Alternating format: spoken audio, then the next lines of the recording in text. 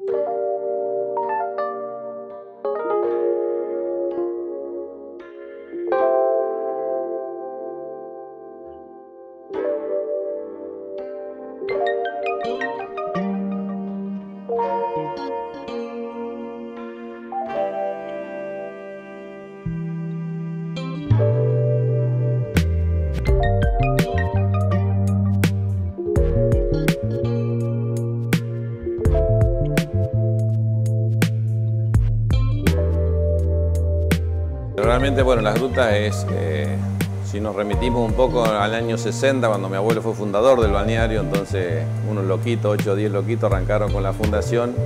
Eh, a hoy realmente es, asombroso lo que nos ha ocurrido, con distintos altibajos, pero bueno, hubo momentos en que obras del sector público ayudaron al crecimiento de las grutas, como son la red de agua, la red de gas, las cloacas y el asfalto. Eso nos ayudó a, pegar, como quien diría, el, estirón, el golpe fuerte.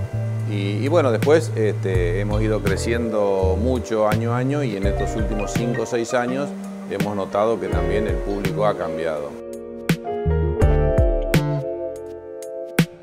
Yo creo que, es un destino interesante para, para familias que le guste el agua, el color del agua, eh, es lo más parecido que tenemos a Brasil, sobre todo también que la temperatura, es un poquito más cálida que lo que es la, costa de Mar del Plata, Villa Gesell. Y después destino para gente joven porque tiene un lindo centro, actividades. Eh, hay para hacer actividades también de excursiones, de la gente que viene acá puede hacer la navegación del Gomón que hicimos hoy, puede hacer lo que es el, tema de, ir a Puerto Madryn, que también es, es algo interesante. Eh, así que es un destino y además es tranquilo, no es una ciudad tan grande, tema seguridad y todo, la verdad que eso también es importante ¿no? para destacar. Habrán podido ver que acá amanece a las 5 de la mañana y a las 10 de la noche todavía es de día.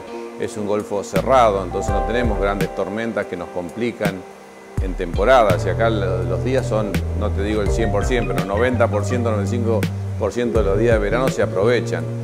Eh, no, hay, no hay lluvia, solamente tenemos 250 milímetros anuales en promedio y si tenés una, una lluvia de verano, podría decir, son media horita y después ya sale el sol y otra vez, y otra vez a la playa.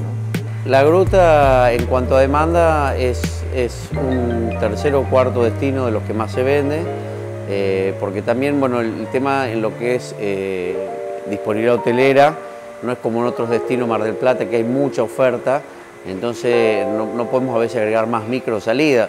Si el año pasado hubiéramos conseguido más disponibilidad hotelera, seguramente podríamos haber armado dos o tres micros, pero sí destacar que de Córdoba éramos el único operador que teníamos salida, ¿no es cierto?, a las grutas, ¿no?